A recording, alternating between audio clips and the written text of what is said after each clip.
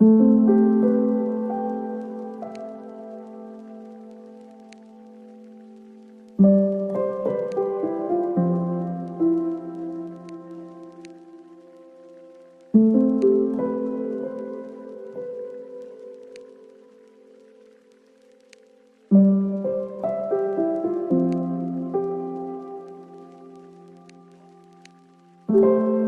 just feel lost.